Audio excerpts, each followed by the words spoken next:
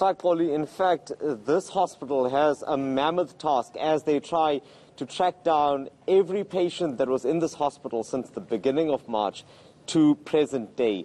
Those are the people that have potentially come into contact with those that are now found to be infected with COVID-19. And that number, as we understand it, is believed to run into about 4,000 or so. So it's a huge task.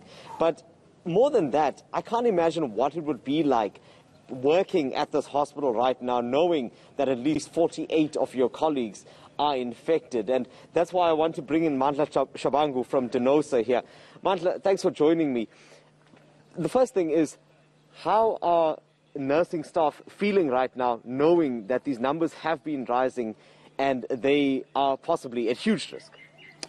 Uh, good morning to and your listeners at home. Look, the, the workers are very traumatized, to say the least, because what has been happening, they've been raising this issue, begging the employer to protect them before even March, and employer pretending that they are safe wherever they were, while workers knew that they were working under conditions that are appalling when it comes to safety issues. They were not provided with any PPE.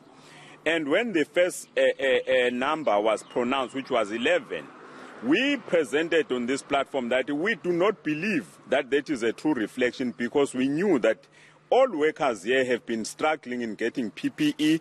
When they remand, they request the PPE from the management. Management will come with a negative attitude, intimidating them, telling them that if they don't want to, to work, they must go, they'll get the sessioners, and all of that. So workers are very stressed as they are sitting at home now, not knowing their status, sitting with their families, and worst of all, as of last night, I received the calls from some members saying management is still calling them to say, when are you reporting for work while you are sitting at home?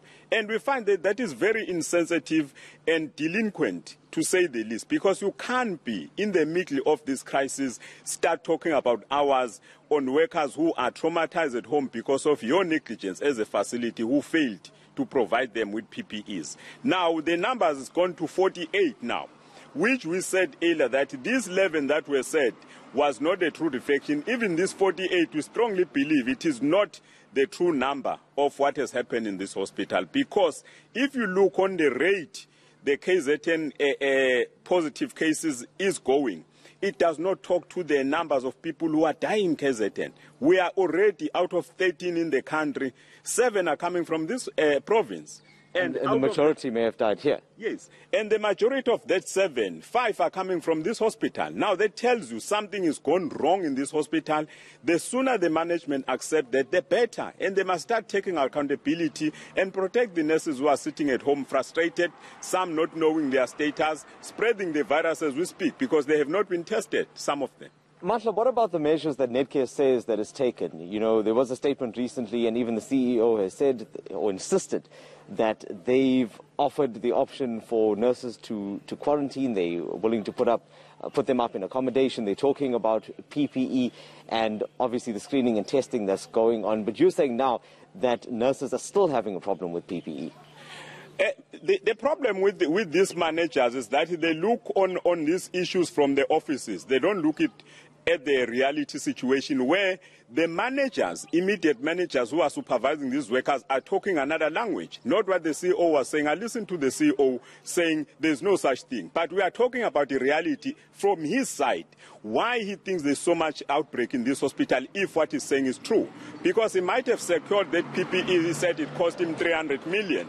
And we do not believe that that PPE was used to the best of the workers in this facility because you wouldn't have this situation if that PPE was used. We are still retaliating that this institution failed to protect the workers because workers are struggling because of that and to a point that some are intimidated that if they feel unsafe they must go and test themselves and we don't buy this story that the CEO is saying they are willing to assist the workers and we want to take them on on that one that they must start by taking all these workers in a safe place quarantine them for the 40, 14 days as it was, it was done with the members who were taken from China. This institution must do that to its employees to show that they are serious about protecting these workers. You would have seen the health minister's uh, tweet yesterday and him calling on the provincial health department to engage more with management with the possibility of closing down more of this hospital over and above what's already been done. Do you think that's going to be enough to contain the spread?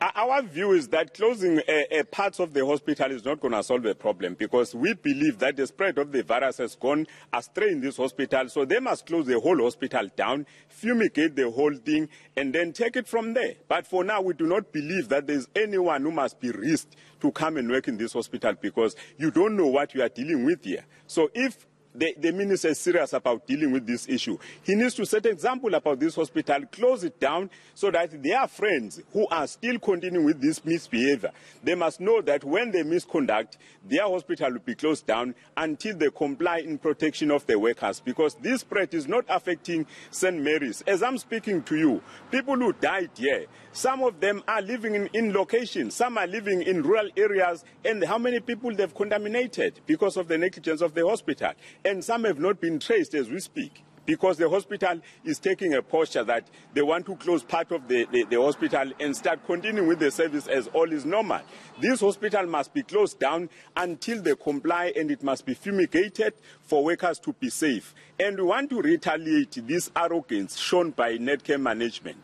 If they continue to call workers from home to come and expose themselves here, we want the Department of Labor to come on board because these workers are supposed to be taken on leave because they got sick in the hospital because management failed to protect them. So they cannot then be fault and it is made that it is their doing that they are now sick at home or they are positive or they are suspects. Now they must pay those hours. They have nothing to do with those hours. Employer must take responsibility in this thing.